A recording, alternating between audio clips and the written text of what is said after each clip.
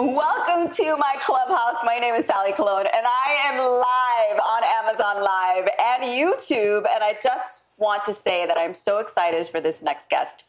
It's going to be a hoot. Hold on to your chair. It's about to get crazy.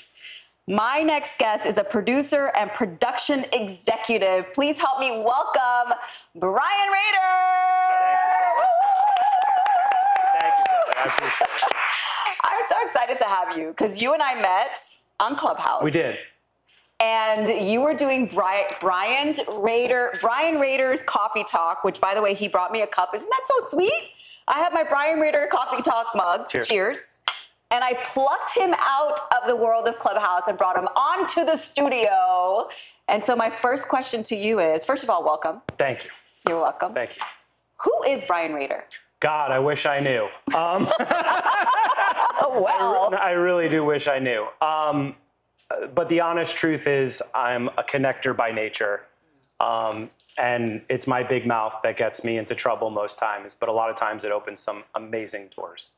Yeah, and I have to say that you and I met, and then we met in real life. Yes, we did. and I pitched some of my shows to you. You sure did. And I will say in the beginning when I sent you a DM and I said, Brian, this is when we first met, and I Mm-hmm. Sure. said, Brian, you know, I have this show, blah, blah, blah. You're like, have your people call my people. Well, here's the thing, and this is the truth. Yes. um, when I got into the business, nobody gave me anything. Mm. And so I've swept New York City streets oh, wow. um, because the set would see me before they left home.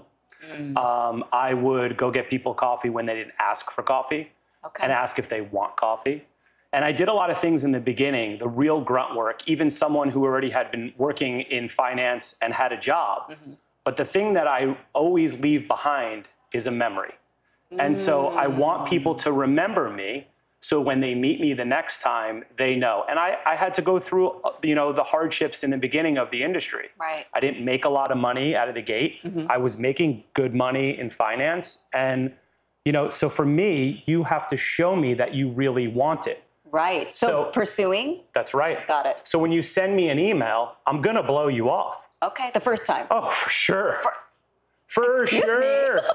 for sure. I got an Yeah. idea. Who doesn't have an Who idea? Who doesn't? I, I understand that completely. What person in the world doesn't say, I think I can create a show? Right. Well, you and I both, I feel like, because once my documentary got out there and people were like, oh, Sally, a documentarian, I would get text, probably not as many as you, but DMs on Facebook. I have an idea. I have a show idea. I could be driving in a car with one of my girlfriends. She's like, oh my God, I have a show idea. I'm like, are you serious right now? Yeah. Like, we're having girl time right now. I don't care about your show idea. I think everyone in my life, including my parents, my family, um, I, I, I think every person, when they know you're connected to Yeah. that world, says, I have a great idea. have your have your parents are here? Have you guys said that? I have a show idea. I was in the middle of writing the script.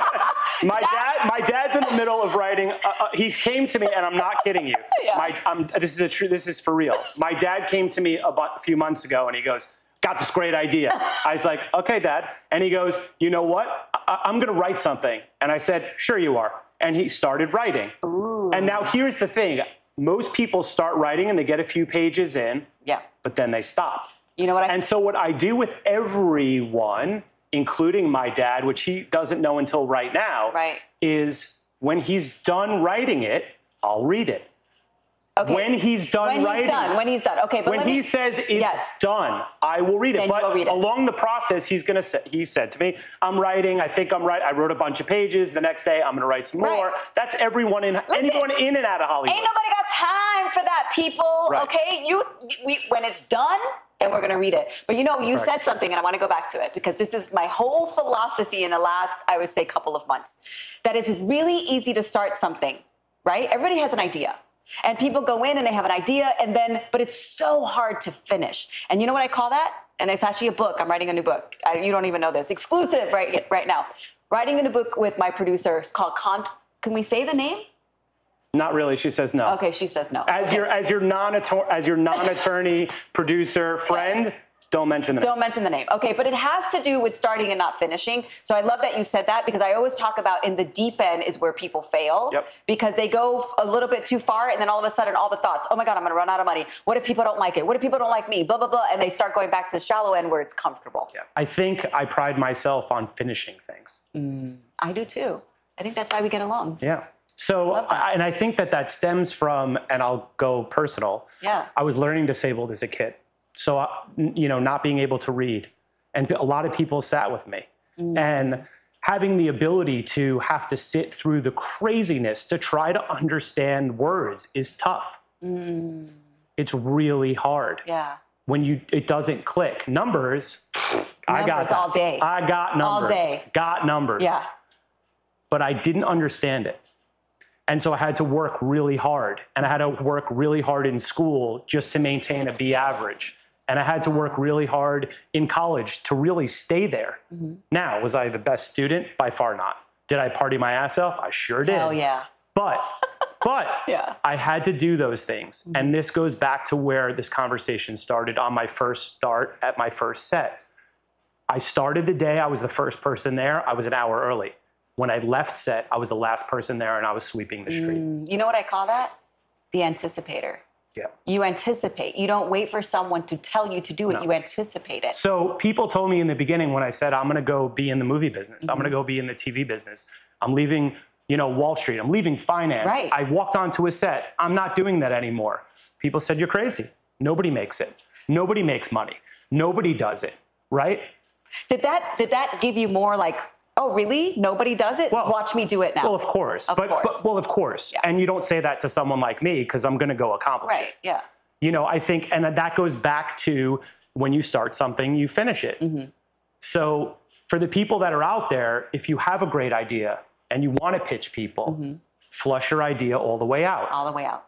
Because you have one chance. You got one shot Yep. to present it to anyone. It should be the best thing you've got, even if it takes you another month, Right. another year Yep. just get it as best as you can possibly do and then you know when you hand it off it's the best you, shot it's you the got best. One thing that you mentioned is that you started in Wall Street.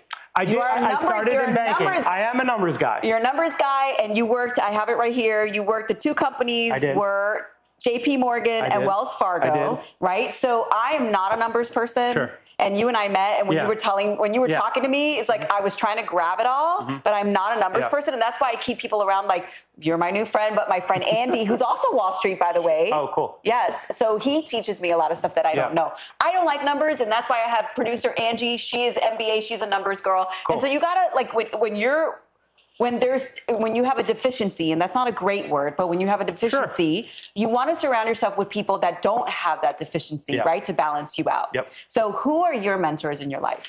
oh jesus um, this is a tough one because most people go to famous people Mm. Sure. Celebrities Or parents. or, or, or, or parents or people that you know have pushed you along the way Please tell me your parents because they're right there. I, I can if say, you don't say your parents, oh my God, my heart. no no no so so so so so, he, so here's the here's the honest truth Yes. Tell me honest. my parents are fantastic yes. my parents molded and shaped who I am. Yeah. So um, earlier, I think we were just joking around live. I got my charisma and my ability to talk from my dad. Your dad. Good job, Pops. Good job, Pops. And and and, And he's getting emotional. I am, I am. love that. and, and I got my sweetness from my mom. Aw, so- good job, Mama. So the, the truth, yeah. So the so the, the truth is is I do have a really big heart, and that comes from my mom. You do. And I have a really big mouth, and that comes from my dad. and and I love your and, laugh. and, it's and, it's and- awesome. And it's those two things Yeah. Of why people gravitate toward me. It's the Mm-hmm. reason why people came to my clubhouse. It's the reason why when I talk, people listen. Yes. It's because I've gone through all the craziness. I've been on over 150 sets. I've built thousands of budgets. Yeah. I've pitched shows to everyone. I've had shows get picked up and then canned. I've been through the ringer. yeah. I've got, I, I didn't know how to make deals in the beginning. I got Right. shat on. Yeah. I, you know, all of the things that you that you could get knocked down by, I learned from those things, and I built mm. on those things. And you have so much experience now. I do now. Like you learned so much, and I want I to do now. You do now, you know. But you know what? Sometimes we have. Ooh, I don't like the way that looks. Hang on. That's why it's good to have the monitor there. It's good and it's bad. So you've worked on so many great shows. I've worked on a bunch of good. You shows. have, and one of my favorites that you worked on was the Ca- Cabanero Carbonaro Effect. Carbonaro Yeah. Effect. If you haven't seen that show, it's hilarious. Is it still airing? It's still on truTV. Syndication, If you, truTV? Yeah, Okay, uh, good. If if you look um, at the first two or three two or three seasons, Mm-hmm. you'll see my name in the credits. Um, I'm credited as executive in charge of production. Nice. Um, that's a big. That's a big title. It's the tallest title. Hello. Um, you can't get bigger than Right. what an executive in charge on a show. Right. Um, all the dollars and cents for the show, multi-million dollar show, pass through my fingers at all times for the show. So kind of like a line producer. So I hire line producers. You hired the line producer. Okay. So I hire line producers, production managers, coordinators. Uh, they hire production assistants, etc. But I hire a line producer to oversee the show. They report to me. Okay. I'm not always on set. Uh, a lot of times I'm dealing with numbers, accounting, Mm-hmm. finance, the network um, i- in that way. And yeah, and it was a really fun show. And Michael's a doll, so it, it was. It, Right. plus, magic is so cool. so cool. Like, first of all, I'm sitting this close to him. Just when Magic we're not Johnson, we're talking about, ladies and gentlemen. Yeah. But go ahead. no, no. So, so uh, magic, magic is uh, uh, awesome, and I've done more than one magic series that is really of a reality nature. Mm-hmm. Um, and it, and it's and it and it's just really fun to sit next to someone while they're doing tricks and they're not on camera Right. because he would on a daily basis mess with me, and it's so much fun. I love with me. that. Oh my God. I would love to be messed Yeah. with by Magic Johnson. Yeah. In 2008, you had a light bulb moment. I sure did. Tell us about that moment. I sure did. Well, I feel like there is an energy that goes around people and, uh, and situations and doors that present themselves in unique ways. And I was wearing something similar, except I was wearing nicer pants and shoes and a, and, a, and, a tow- and a tie. And I was down on Wall Street. I was taking a meeting, a finance meeting, and I stumbled upon a set. Now, a lot of people don't know that actually I was in front of the camera before I was behind the camera. Early on in my college years, I got really lucky and booked a commercial uh, for IO Digital Cable. That um, I then got semi represented. They then sent my Polaroid in. I got booked on the show Sex in the City. So this is on camera we're This talking about? on camera in On front camera. of the, in Ooh, front of the at camera. I was like 20 years old Okay. and um, I did three things back to back that were entertainment related, and I, they came real quick. And then I realized quickly that really wasn't. That me. wasn't your thing. Yeah. But but again, I did this commercial. I then was on Sex in the City on season five, episode five. You guys could check me out, hanging it at the bar. um, and then I um, also did a runway show for fashion for Guess Fashion. okay. And I did these things quick, and I was like enamored by the people behind the scenes, running around, Mhm. lots of stuff happening, lots going on, and I was like, "What are these people doing?" And then I Right. start, I started asking questions to those people. Yeah. And so in my head, when I was in New York, I'm in finance, and I'm like, "Look, you graduate school, you got to make money, you got to get a job."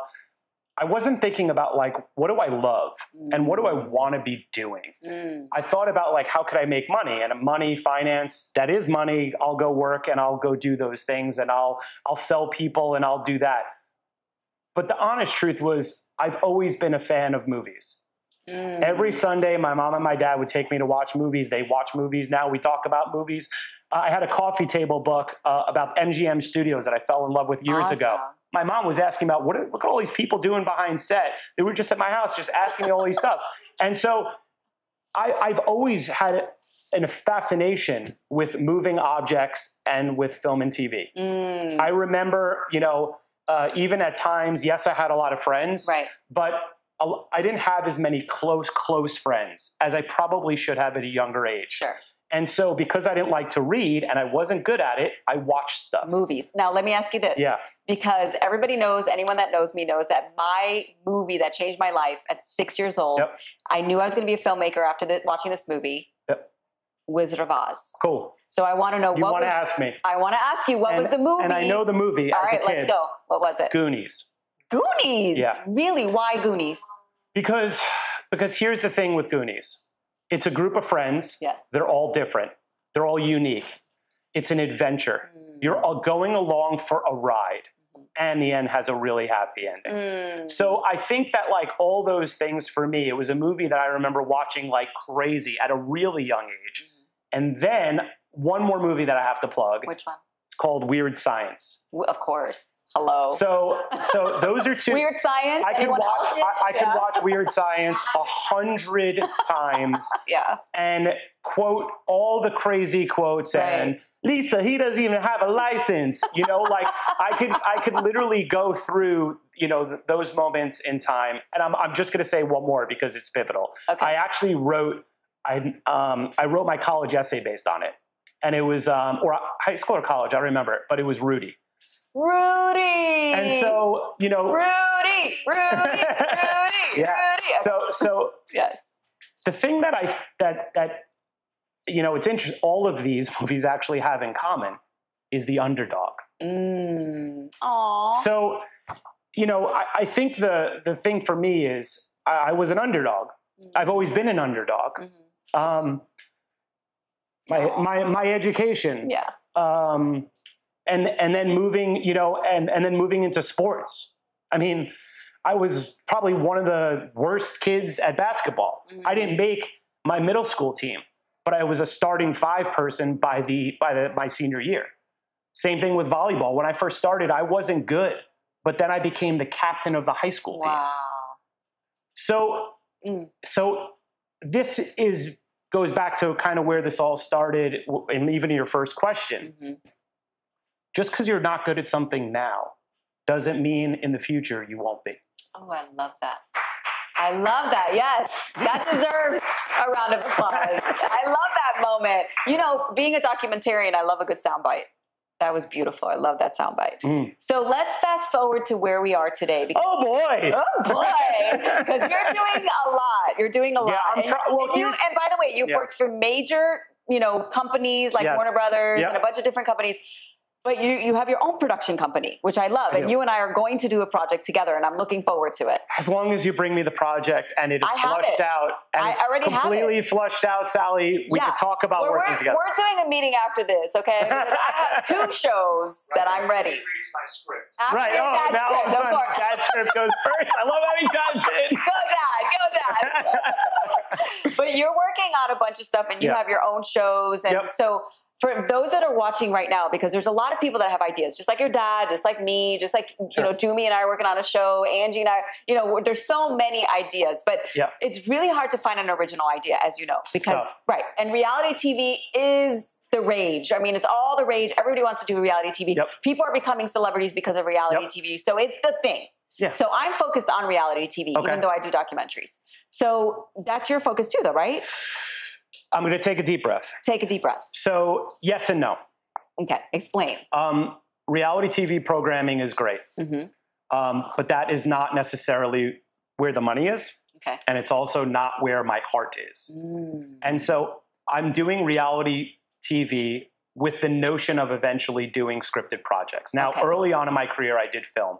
I personally don't like films Okay. to produce them.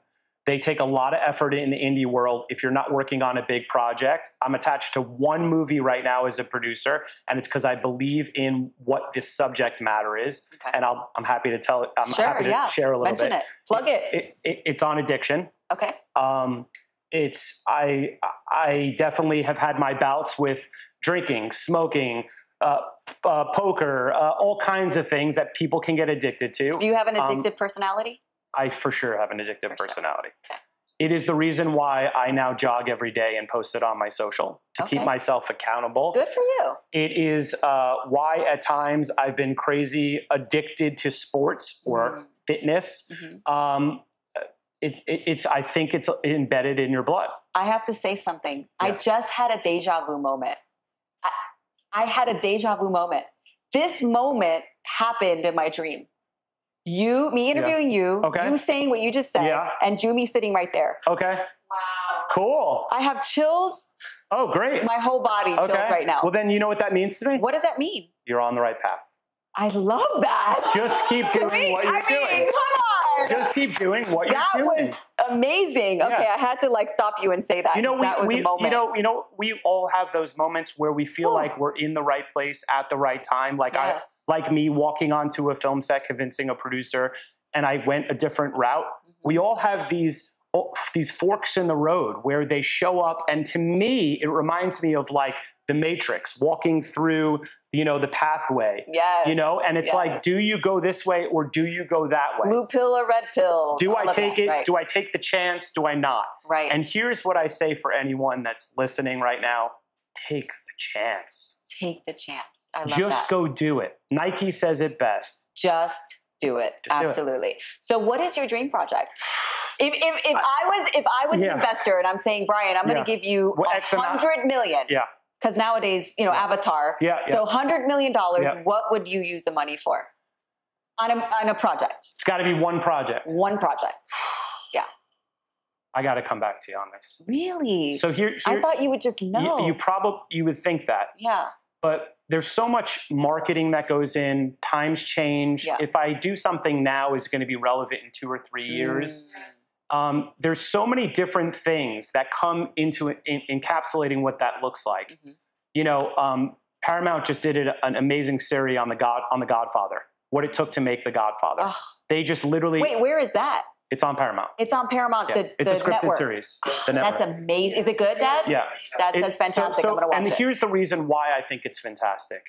It shows how much you have to go through to get the project made in the way you want to make that project. So everyone that wants to be in this business, Dad, including you, did you watch the whole thing? Yes. Everyone that's in this business needs to watch that. Because people need to know how hard it is. People Oh. think that creating a show or creating a, a documentary, which is Oh. a different beast, you know, I've done it, Oh. I have it, you know, is easy. It's not easy. It's so hard. And it's, man, if you're not tenacious, don't even get in this business. So there's two things. There's creating the show, Yes. and then there's also working on shows and being a freelancer in the business, Right. right? For 15 years, I've been a freelancer. Mm, Uh, nobody paid me a W two. right. No one. Same. Never got a not a good- never a W two. Yep. You never know when your next check is, when your next project is. You hustle. Yep. Uh, yesterday on my um, on my TikTok, I posted me on a uh, uh, on a TV show called Surprise Instant Christmas, and what I was actually doing with texting because I remember what was going on that day. Mhm. I was setting up my next project, the next show to get hired Oh, on, wow. while they were filming and they caught me, and I was sitting there going like this. And I remember that day shooting with Shaq and Ludacris. Yeah. And I remember them being on set, me talking to them and doing the whole thing. But at the same time, I'm work, I'm negotiating. I'm doing a deal for my next show, Wow. so I could leave Atlanta, go back to LA, come and then have a couple have days off, to, to and then have the next thing to work on. Listen, I I'm with you. I just I myself just went through that. I left a big metaverse. You know, I was Yeah. working on a big metaverse Yeah. project in Malibu. That ended a couple of weeks ago, and I'm like, Angie. Well, help me out here. What's Yeah. next? You know, because it is. This business is like one project after another. After And so it's a hustle. It's, it's a hustle. constant hustle. So, so, so the thing is, my production company, Pictures Up Entertainment, that Mhm. I run with my producing partner, Louis Tochet, you have to have a lot of irons in the fire. Yeah. We have 20 shows at any given time. We have ones that are at networks right now that we're pitching. We're in co-productions with some of the biggest production companies in Mhm. Hollywood. We set ourselves up in development. We have Right. multiple things we're developing. We're cutting stuff. I'm on Clubhouse on and off reviewing people's projects like you and now Right. my dad and everybody else because people want to get in the business. yeah, absolutely. Because, and they and they literally think it's that easy. I know this guy. I'll give my project. It's going to get a green light. We're all millionaires. Don't we wish it go. worked that way? I wish Now- it worked that way. Now the truth is, it takes six months to a year to develop a show. Mhm. It takes six months to take a show out. It takes another three months for the network to give it a thumbs up. The thumbs up only comes to less than 1% of all shows pitched. That means if a network, C- CBS, NBC, ABC, all the streamers, if you pitch your show to them and it's the best show in the world, 1% chance. One. Are you listening, Jumi? Yeah. Because Jumi's always because we're creating a show right now, Yeah. and she's not really in the entertainment industry, so Sure. she's learning as we go. Sure. That was good to hear that, right? All of that, yeah. Because It's so hard. yeah, it's and hard. then and then I just worked on a, a spec pilot for a for with A and E and Lifetime. We got into the whole development of shooting the pilot. yeah. We never shot it. Wow. So- Why? So There's a lot of reasons, and I'm not going to say that live Okay, or all right, recorded, Okay, we'll talk later. Call me. but Yes. but that happens all the time. Right. Shows go, and then the network says we don't want to make the show, And they for shelve whatever it, reason. right? They shelve it. They just say we're not making it. Wow. They give you X amount of money. You Sure. start the development process. You're in. You, you got the green light. Right. You're in production. Yeah. You're in, ready to go. You start doing all the things. You could do casting. You could do different pieces, and then they pull the plug. Do you get to keep the money though?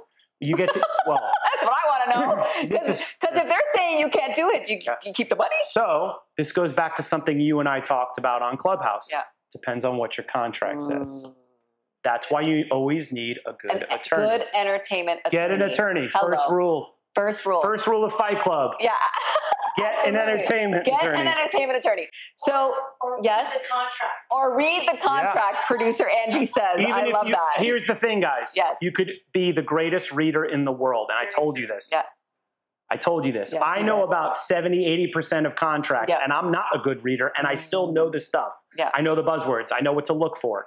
But here's the truth attorneys are attorneys for a reason. You're right. And they charge a lot of freaking money for or, a reason. or they Or- don't charge a lot of money if you work off a percentage. See, Angie? I was telling Angie about that. Brian has an attorney that works off a percentage, so no money up front. hey, Patrick. So, so we're Hi, having, Patrick. 5%, So- bro. 5%. So Angie, we're having a meeting with Patrick. All right, he's going to set it up. Let's talk about Clubhouse because you're back. Uh, Cheers to look, I- being back on Clubhouse, Look, I, ladies and I, gentlemen. I, I never left. I took a, a small. Sabbatical. I took a small sabbatical. Was- My cheers look, to that. I was working for Warner Brothers full time. Yes. I had all these shows out in the marketplace, getting calls about all these shows that we had developed that we were taking. You know, production companies were pitching all of our stuff. Can you walk us through because you know you got a pa- you, you have an idea, you package the idea, you get the sizzle, the pitch deck, Yep. and then it's time to pitch. Just walk us through that through Yeah. really quickly, Okay. two minutes. I'll go. I'll go from start to finish Do of, it. of kind of how it goes and where it goes and how. yes, take some notes, you guys. Get Got your it. paper out. Go ahead. You have your idea. Yes. You bring it to me. You say, "Here's my idea." You either a have the materials or you don't, and you need them created. Let's say, for argument's sake, you don't have anything. You have the idea. You have to build a pitch deck. yes. what's involved, all the pieces of the pie of what's in that show, who the characters are, what the plot is, synopsis, etc. You you have that piece. You then make a sizzle reel, usually under three minutes, so that it tells who the characters are. People get to see the footage. They get to live the life of what is it going to be like when I watch that show. Mm-hmm. The last piece is a budget of some kind. So you have to build a budget to know roughly how much is a show. Now, people out there are probably like, I don't even know how much a show Yeah. is. The average show in reality TV Mhm. programming is between two and six hundred thousand dollars Per episode. per episode. So if you're doing 10 episodes, between two and six million dollars. If you Okay. move into scripted TV, which I also produce and have done many times Mhm. and built budgets for, those range between one and three million usually on a streamer. On something much bigger, a Game of Thrones, let's say, Sure. or something huge, could be a hundred million plus. So it could be 10 million to probably 20 million dollars per episode. per episode. Per episode. I remember when remember when Friends there was a whole thing with Yes. Friends, and I think they got it up to like a million per episode per. But no, no, No, talent. talent a million per episode. yes, that they're was not the only, and they're not the only ones. Yeah, But what they did do is they band together, which is what you need to do if you're Okay. talent. You Yes. band together. But I want to take you through the whole the whole Yeah. process. So now you have your budget. So you have all your materials. Mhm. Now you want to get with either a production company Yes. or straight to a network. Most times, if you're new, you don't know any network people. Right. So you're going to a production company like mine who has those relationships Mhm. so that I can take your show. And when you bring it to me, if I'm not developing it, we're going to then go into a development phase, which Okay. you and I already started. Yep. You said, "Here's my ideas. What Yep. do you think?" I I, I poked a hundred holes in your stuff and Yeah. said this, that, the Yeah, other. yeah, that. That's what my company does. We develop the show with Yeah. somebody, and then we take it out to market. Now it goes out to market. What does that mean? You have to set up the emails, the calls, the Zooms, the meetings about that specific project. Yes. Now, if the network says we love it, right? Then all of a sudden, usually they want to talk to the talent on a Zoom so that before they buy the show, they get a feel for who those characters are. Okay. And then they're going to say, cool, now we're going to put a deal together. They then have their attorneys draft up paperwork for a network deal. And at that point, you're like, okay, awesome. The problem is most times, a network deal because you need an attorney to review it. Entertainment attorney to be exact. Correct. Yes. An entertainment attorney to review it. They go under what's called a red line, meaning there's question and answers on both sides, both the network and also Mm-hmm. How you. long does that normally take? Anywhere between three months and a year. Ooh. Why? Because there's so many points. So many points. How much money? Right. What's the credit? And so What's the many different What's the people. EPs, What's the- talent. There's right. so many pieces. Then the talent need individual deals. How long does it take to close those? So Mm. from the time you start with your idea and you pitch it to somebody for the first time, it could be two or three years till that show actually gets shot. Because listen, let's say they give you the green light. Now you got to look at a calendar. When, it, when is the talent available? Mm. When can they go on set? When can the producers do it? That could be pushed out six months to a year. Right. So from the time of your idea, it could be years before it ever gets even the thought of getting shot. Hold on, not even done. Oh, we're not even done. Not even done. now you filmed it. Now you have to go into post production. Right. So you have to edit the whole show. Yes. That could take months. Wow. So we're looking at anywhere from six months to like three and a half, four years from the moment that the idea came out, for those of you wondering. Because people always ask me, like, how long does it take? How long Yeah. does it take? It depends on how much. So there's a new show that say right now, like let's say there's a new show, a new reality show, or even scripted show. Right. Scripted could even take longer. Why? They have to write all the scripts to to, the show. right. There's a writer's room. It could be four months, six months, yes. eight months. Yes. It takes forever. It's unbelievable. And So- and at any point, this is what I want to say. Even though you got the green light, at any point the network can just pull the Pull it. plug. how many shows do you have right now that you're working on? Okay, working on is a big umbrella. That's true. Okay, so let me re, let me. so. I'll break it down for you, Break it rough and roughly, not Okay. exact. I probably have 50 shows, 55 0, five zero. 5 0 Yeah, shows. 50 shows in some form of it- all the way from we have a kids show that was on air that we're repackaging for a new network Mhm. and we had it on one network they pulled the plug during covid and we're Mm. now we've been pitching other ones and we're solidifying a deal there Okay. we've got at least three or four network deals on shows that we're talking about uh, green lights let's go let's go conversations Mm-hmm. and then we have probably another 15 that are fully developed that we're pitching either with a production company or straight to network Okay. and then we probably have about another i would say i don't even know 12 to 15 that we have materials and we're developing the sizzles the decks the budgets on those Mhm. and then i have a bunch that i fielded that are kind of going to be in the next wave so at any given time i have ones at networks ones at production companies ones that we're developing ones that are coming in the door like maybe your show Yes. and evaluating and seeing if it's something that we're actually going to you know move forward with All right, perfect. Yeah. So, how do you pick the person that's going to be the person that pitches your shows? Because that's an important thing. Yeah. So if it's not me and Yes. Lewis, Yes. then when we partner with production companies, the reason to partner with a production company that's bigger than my company is mm-hmm. they already have multiple shows at a specific network. Mm. They've been there for 10 years. They have five shows with Bravo as an mm. example because they have those Bravo shows, The Real Housewives, this, the mm-hmm. other. And this show fits their company Right. and it fits that dynamic. And so we go to those production companies because we know them really well in the mm-hmm. type of shows that they produce. Okay.